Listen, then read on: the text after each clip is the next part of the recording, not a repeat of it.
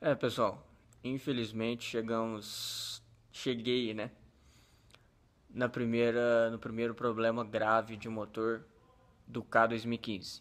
Então, para quem ainda não não sabe, é, eu comprei meu carro 2015 em janeiro de 2015 desse ano.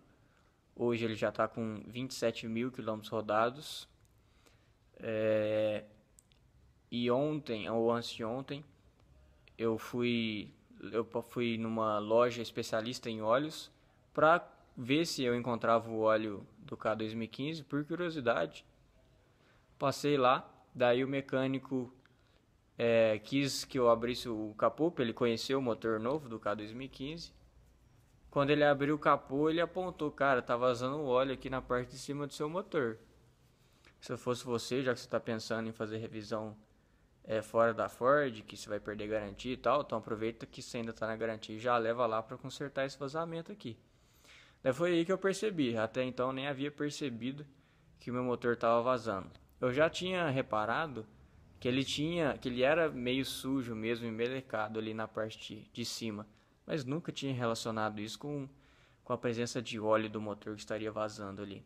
Desde que e porque o nível nunca abaixou. Eu sempre confiro o nível do óleo a cada sete dias. Esse nível nunca tinha baixado. Então, tanto é, então por isso que eu nunca relacionei uma coisa com a outra. Então eu levei o carro então na Ford Tempo, daqui de Campinas, São Paulo, que inclusive foi muito bem atendido. É, realmente na hora lá o consultor já constatou o problema e falou: é, realmente está vazando óleo aqui na parte de cima nós vamos precisar trocar a guarnição ou a junta da tampa. São sinônimos desses dois nomes. Que é uma borracha que veda é aquele plástico de cima que tem do motor e a parte de baixo que é o bloco ali de alumínio do motor. Então ele está vazando ali entre o plástico e entre o bloco do motor, o que é o que não pode acontecer, aquilo ali tem que ser 100% vedado. A parte ruim é que não tem a peça pronta entrega, como muitas coisas, né? Ele só tem pronta entrega os itens que são utilizados em revisão, então óleo, filtros, etc. As demais peças que você precisar é, não tem em estoque, né? Então ele fez o pedido lá na hora para mim, é entre 7 e 10 dias úteis para chegar, mas com esse tanto feriado aí, Natal, Ano Novo, acredito que só daqui uns 20 dias lá em 2016 que eu vou resolver esse problema.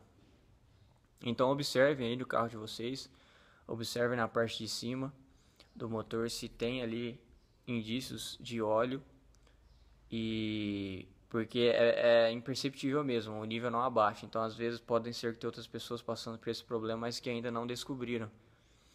Então a garantia vai trocar tudo, certo? Não tem nem o que contestar, né? Mas não sei nem o que dizer, né? Um carro novo nem um ano de uso, com 27 mil quilômetros apenas, já vazando óleo. É, eu tinha uma ideia de Venturi antes, a gente andou seis anos com ele, 100 mil quilômetros, nunca vazou uma gota de óleo.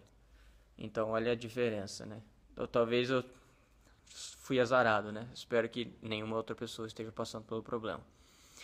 Aqui na, na Ford tempo de Campinas, segundo o consultor, o meu vai ser o segundo carro com esse problema. Então, aparentemente, não tem acontecido com muitas pessoas. Bom, então aqui a gente está olhando para o motor limpo. Eu limpei a região que era que é essa daqui. Eu limpei ela para a gente poder comparar se realmente era um vazamento de, de, de óleo ou se essa sujeira veio de, de, de forma externa, né? talvez derrubou na hora de colocar e assim por diante. Então fiz a limpeza aqui usando querosene, que é um solvente, né? Então qualquer substância que você usar aqui que seja derivada do petróleo, ela vai dissolver o óleo, então pode ser gasolina também. Então você molha num pincel e vem passando aqui, depois você vem tirando com um papel ou com um pano, que ele fica novo, ó, tá vendo, ó? Tá limpíssimo essa parte aqui do motor. E o vazamento, ele acontece, pelo menos no meu, ó, exatamente Deixa eu focar a câmera. Isso. Ó, acontece exatamente nessa região aqui. Então depois de andar, ó, tá vendo o risco de óleo que fez no meu dedo, ó? É isso aqui. O vazamento ele é bem pequeno, bem mínimo. E ó, tá vendo, ó, sujando um pouquinho meu dedo de óleo. Isso aqui com o tempo, isso aqui estava inteiramente bastante melecado. E como vocês vão olhar aí mais pra frente no vídeo. É, então o vazamento acontece bem nessa região, entre essa parte preta e o bloco do motor. E eles vão trocar uma borracha que corre aqui dentro, que veda é, a saída de óleo.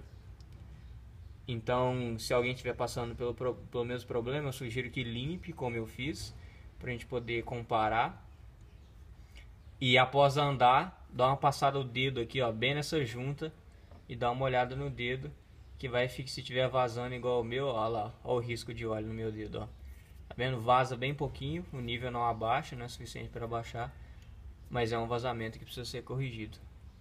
Bom, na sequência vocês vão observar então um vídeo onde eu mostro ali o vazamento antes de eu fazer a limpeza do motor, tá bom?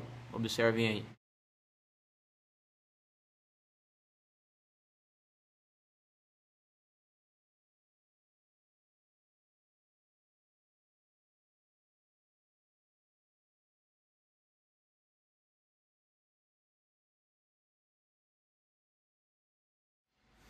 Bom pessoal, então é isso aí. É, se você gostou desse vídeo, dá um joinha positivo aí, se inscreve no canal, compartilha com seus amigos aí que tem um K 2015 também. Então, estou aqui aguardando a chegada da peça e vamos ver se com a troca lá da, da guarnição ou junta da tampa, que é, são sinônimos, é o nome da peça que vai ser substituída. Vamos ver se com a troca lá feita pela garantia vai resolver o problema. Então é isso aí. Um abraço, pessoal.